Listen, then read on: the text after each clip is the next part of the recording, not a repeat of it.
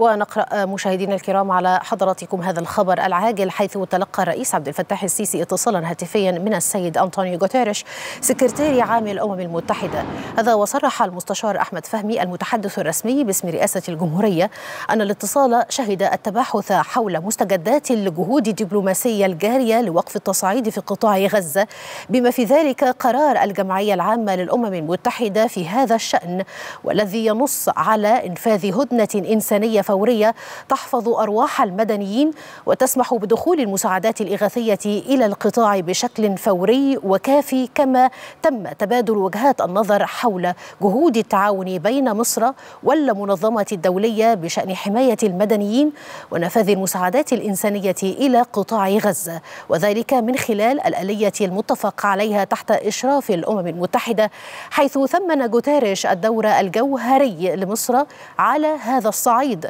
مشيدا بالالتزام المصري الراسخ بالعمل الإيجابي نحو السلام والاستقرار كما أعرب الرئيس السيسي عن تقدير مصر للمواقف المتوازنة للسكرتير العام